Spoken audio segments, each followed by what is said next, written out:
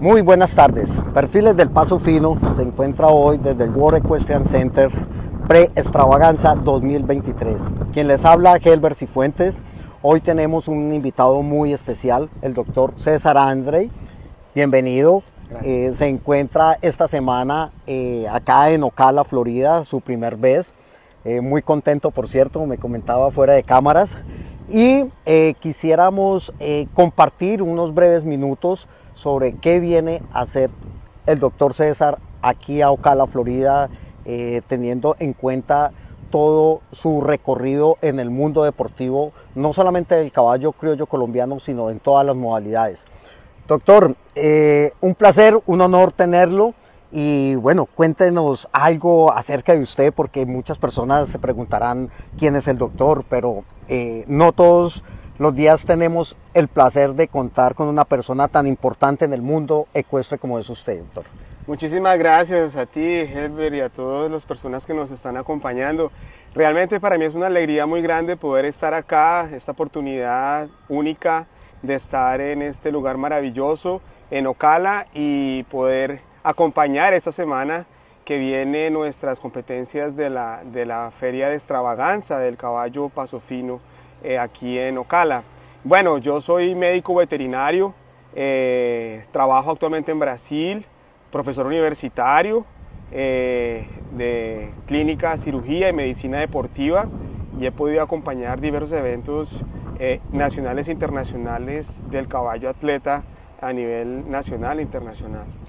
Gracias, doctor, por esa presentación. Breve y sustanciosa presentación.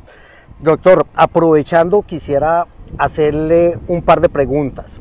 es, bien sabido que la atención por parte de los montadores, de la exigencia que se le tiene que hacer a los caballos y más al paso fino, donde el número de batidas es impresionante, se debe tener un entrenamiento muy dirigido.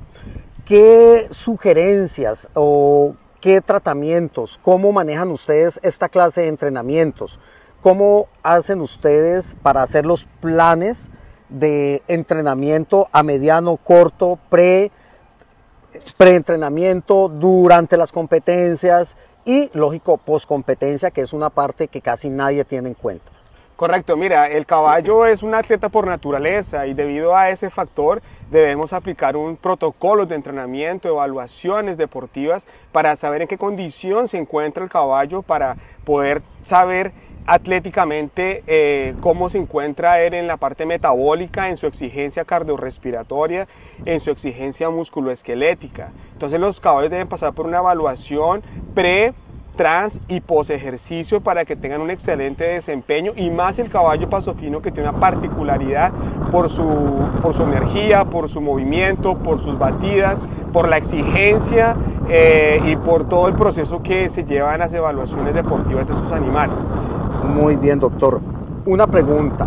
¿Qué exámenes recomienda usted antes de empezar un entrenamiento dirigido con un caballo que va para competencia y con qué tiempo de anterioridad? Eh, todo caballo deportista necesitamos hacer una evaluación antes del examen, antes de sus, antes de sus actividades deportivas, que cubran la parte musculoesquelética, la parte sanguínea, la parte metabólica, para que ellos tengan una buena condición para el excelente desempeño en las competencias. Bueno, doctor, muchas gracias. Eh, lo vamos a estar molestando para otras eh, charlitas de mucho más a fondo sobre el tema. Doctor, muchas gracias. A ti muy amable, muchísimas gracias.